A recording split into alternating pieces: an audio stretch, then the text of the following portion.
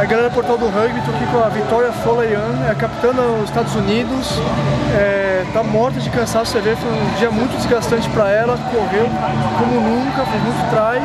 Eu vou perguntar para ela o que ela achou desse fim de semana aí, Estados Unidos sempre beliscando ali, já incomodando as, até as Black Ferns, né, temidas, e fez um bom fim de semana, não deu para elas hoje contra a Inglaterra, mas é um time que você vê que está crescendo ano a ano. So Victoria, yes. thank you again for this interview. Thank you. Uh, what, what's your overall opinion for this weekend of rugby? I mean, playing uh, the Black Ferns twice is not Yeah. an easy task, and yet you did it so so well, especially on uh, today. Yeah, I think all this time that we've been playing sevens, it's all about getting better and better every single day. And we've got some great coaching staff back in Chula Vista, and they're working for us to go to the 2016 Olympics, and that's where our goal is. So playing the Black Ferns twice was honestly a gift for us because the more we play them, the better we're going to be against them. And you know what? In the end of the day, we just want to beat them, and that's the only thing we're trying to do. Yeah.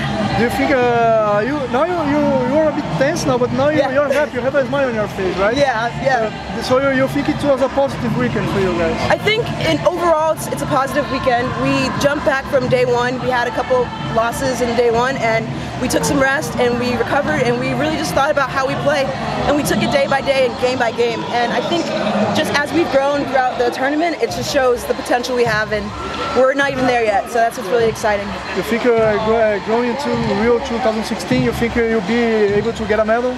You know, that's that's our goal. Yeah. We want to get the gold as always. And so we are definitely striving for the medals for sure. All right. Yeah. Uh, so thank you very much again Thank for you. interview. Thank we you. have this ball we're going to raffle between our fans. Can you sign it up? For sure, for sure. Thanks again. Thank you so much. I can hold it All right. Here you go. wherever you want. USA. There you go. You. All right. Thank you so much. Yeah, thank you. Have a good one. Bye bye.